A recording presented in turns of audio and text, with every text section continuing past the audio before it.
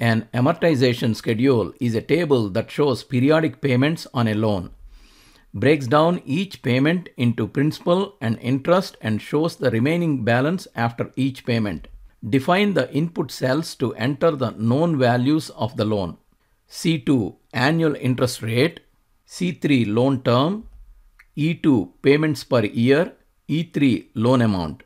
Format C2 as percentage and E3 as currency. Select C2 and in the Home tab click on percentage in the number group. Select E3 and click on number format drop down select currency. Create a loan amortization schedule for a 12 month loan paid monthly. Loan amount is 12k. Annual interest rate is 9% and loan term is 1 year.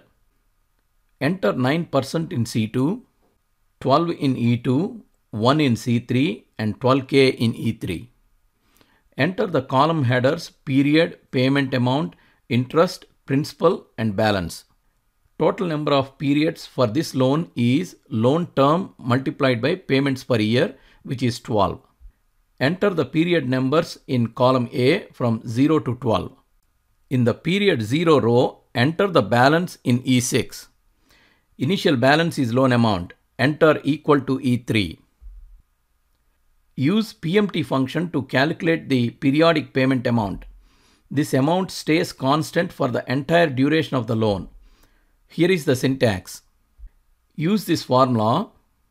Rate divide the annual interest rate by the number of payments per year. NPER multiply the number of years by the number of periods per year. PV loan amount. Use absolute references for all cells to copy the formula down without any changes. To calculate the interest part of periodic payment, use the IPMT function. Here is the syntax. All the arguments are the same as in the PMT function except the PER argument that specifies the payment period. Use this formula. Payment period A7 is supplied as relative reference as it is supposed to change when formula is copied down. All the other arguments are same as used in the payment amount formula.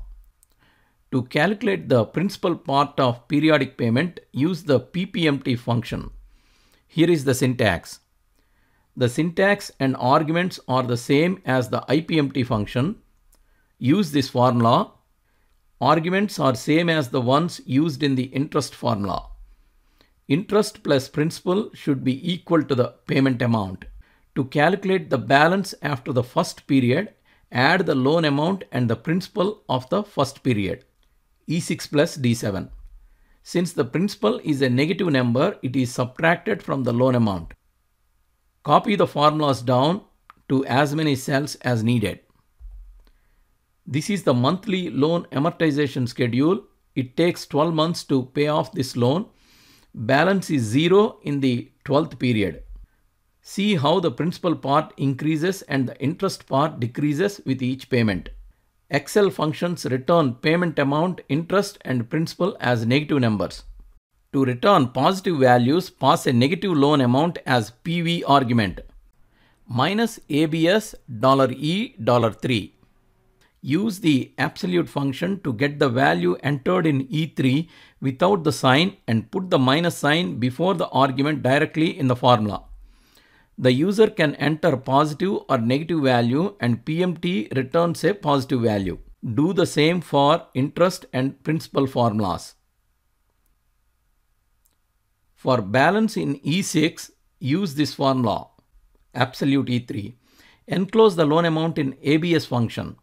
For balance for period 1, use this formula, E6 minus D7. Subtract principal from previous balance. Copy the formulas down positive values are returned. To download practice Excel file, please click on the link in the description. If you like this video, please subscribe to our channel.